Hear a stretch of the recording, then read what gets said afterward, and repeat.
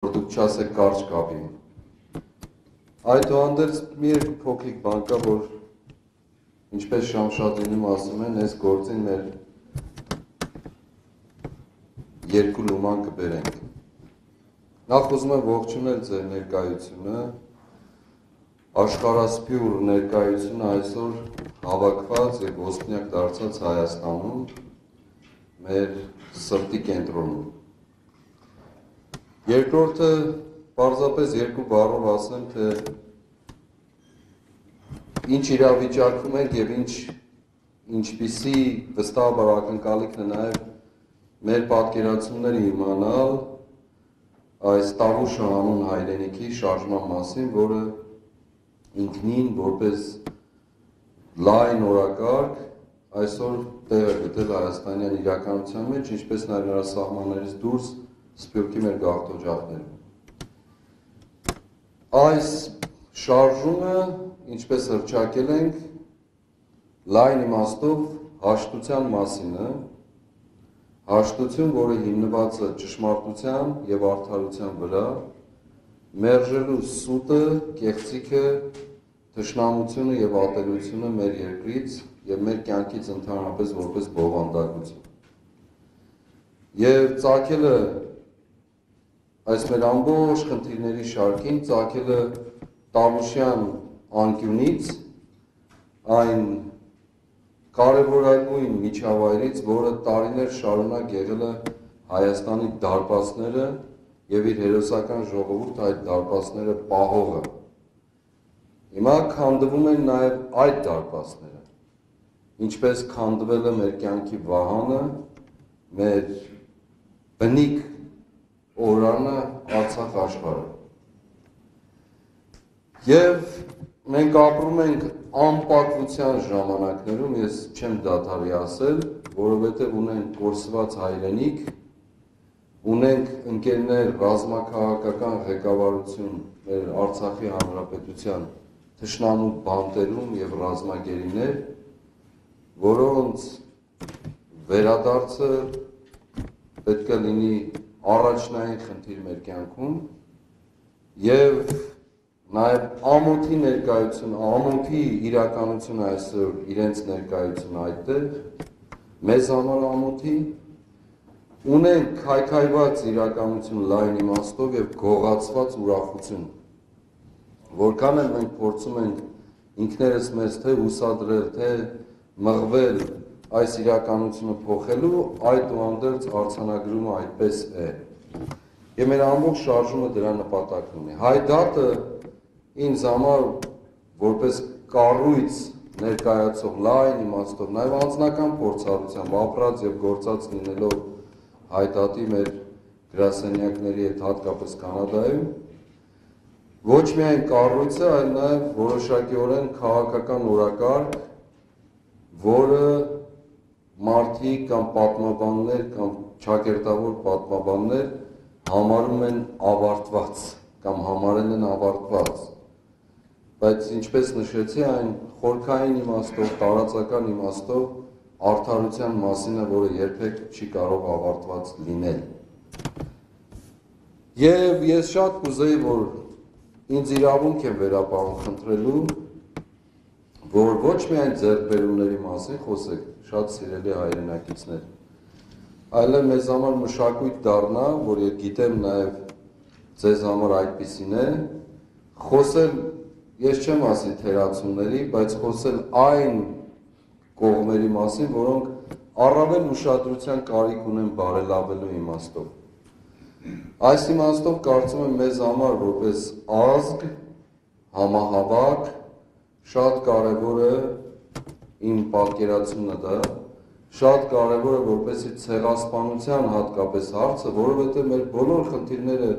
այս պահին ածանցվում են դրանից, անխուսափելիորեն։ Ցեղասպանության հարցը մեզ համար զգացմունքային դաշտից եւ միայն պահանջելու դաշտից պահանջատիրության տեղափոխվի համակարգային բանականության դաշտ տարածվի մեր կյանքի բոլոր շերտերի ոլորտների մեջ, որպես գաղափարաբանություն, ինչպես աշխարհում հայտնի է, որը կդառնա մեր մրցակցային ազգ լինելու հիմքը։ Կյանքի բոլոր ոլորտներում, կրթության մեջ, տնտեսության մեջ, գիտության մեջ, առողջապահության մեջ, սպորտի մեջ, ամենում, դպրոցից սկսած մինչև գործատեղիներ։ Ես կարող եմ ավելի շատ խոսել այս մասին, բայց զուտ գաղափարական իմաստով եմ դա ասում։ Եվ նաև ինձ համար ուղենիշային է եղել եւ փորձել եմ կյանքում եւ տեսել եմ, որ դա գործել է շատ ուղղակիորեն ապրելու եւ գործելու որպես մոռացված ազգ, ոչ մուրացող ազգ, այլ մոռացված ազգ։ Այսինքն մեր ուղղելու մեր բոլոր հայացքները մեր ներուժականության վրա առաջին հերթին եւ ոչ թե աշխարհին, ոչ այս կամ այն բևեռին, ոչ սրանից կամ նրանից թույլտվություն կամ բարեհաճություն ստանալու, այլ նախ ինքներս մեզ ուժավորելու ինքներս մեզանից չվախենալու, ինքներս մեզանից չոտարանալու։ Եվ ինչպես Կիրանցուն հայտարարել եւ ասել են, մեր ժամանակներում այլևս հոգին հաղթելը դուխին։ Կարող է երևի մեր արևմտյան ցամաքներից եկող մեր սիրելի քրիստոնյաները լսել են դուխ բառի մասին, չէ՞։ Դուխով բառը լսել եք։ Հա, գիտեք ինչ է նշանակում։ Գիտեք, չէ, չգիտեք, տարուշեցեք բոլորը։ Հարց եմ տալիս պատասխան չկա։ Որ կողմն են նստած Կանադա, Ամերիկայի ժողովուրդը, Եվրոպայի, այս կողմն է, չէ։ Գիտեք ինչ է դուխ։ Չէ, գիտեք։ Գիտեք, շատ լավ որ գիտեք, ուրեմն չեմ ասել։ Ուրեմն հոգին դուխին է հաղթել մեզ մոտ, այսինքն մեր մեր այն մղումը դեպի արդարություն եւ ճշմարտություն այլևս մեկ քայլ արել է։ Հիմա ժամանակն է, որպեսզի մենք ավարտենք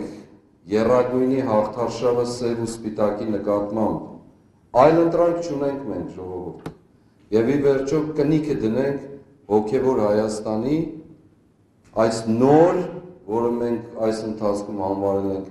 թազա Հայաստանի վրա այլ տարբերակ չունենք մենք ապրելու։ Սա մեզ համար պարզապես միջոցառում չէ։ Սա մեզ համար արժեքների եւ քաղաքակրթական փոփոխության հիմք պիտի դառնա։ Եթե մենք չփոխվեցինք այդպես, մնացած բոլորը կլինեն զուտ պատանքային, կաղապարային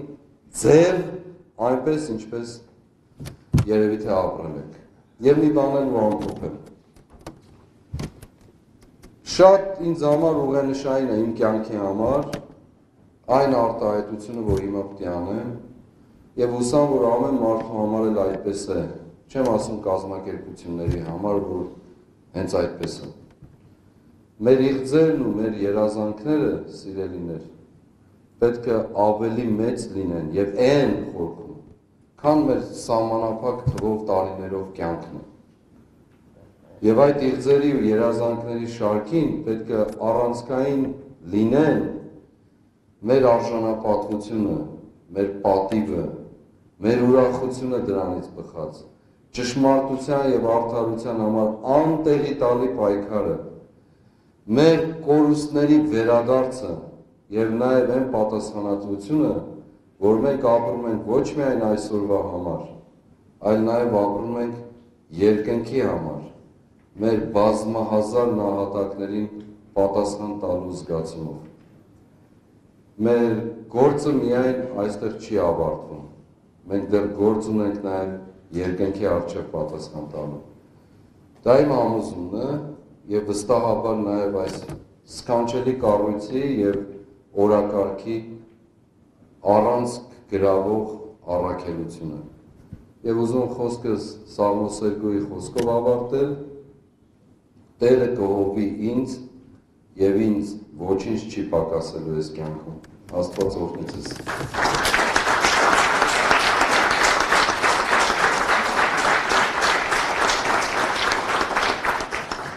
Շնորհակալություն Սրբազանը,